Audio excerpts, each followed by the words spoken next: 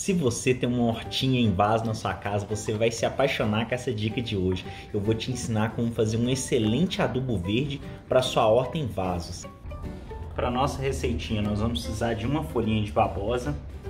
Eu acabei de remover ela daqui, ó, não tem problema. E você vai ter que cortar ela da menor tamanho que você puder. A babosa vai ter um papel fundamental para nossa receitinha maravilhosa do adubo verde.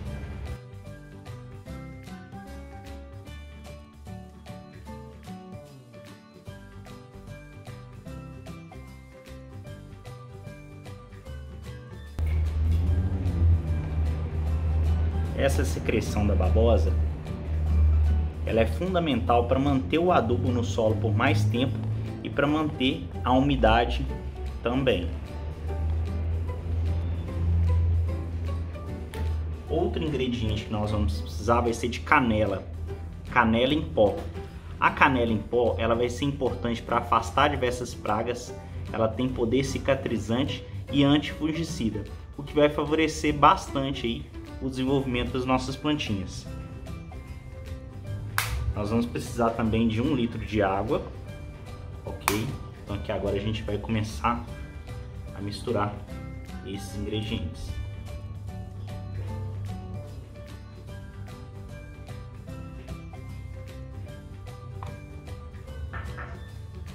Nós vamos precisar também de borra de café, sem açúcar. Aqui tem 3 colheres de borra de café. A borra de café vai ser importante pois ela tem nitrogênio, ok? Não vai ser solúvel em água, mas ela ajuda a deixar o solo mais aerado, favorecendo o desenvolvimento das raízes.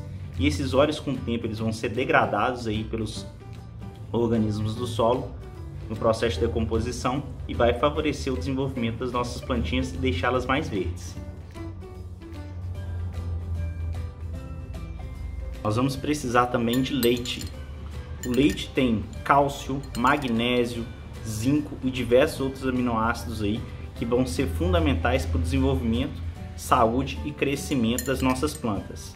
A babosa também tem diversos aminoácidos, mas o leite aí, ele é fundamental para o desenvolvimento, pois ele tem cálcio aí, que é super importante também. São apenas duas colheres, ok, pessoal?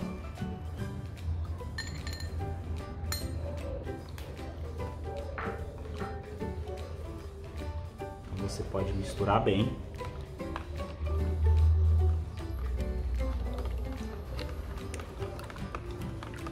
Ele vai ficar com essa carinha aqui, ok? E você vai deixar ele descansar aí por duas horas. Depois de duas horas, ele já vai ficar com essa carinha aqui, bem mais uniforme. Mas é importante a gente homogeneizar novamente aí a solução. O café vai subir, ok? E vai fazer com que a solução fique muito mais homogênea partir do momento que você fez a homogenização, você já pode fazer a aplicação.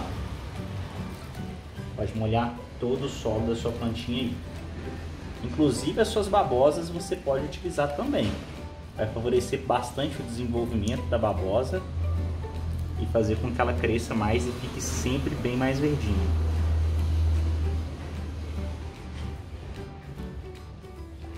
Sobrou, você já pode guardar na geladeira, ok?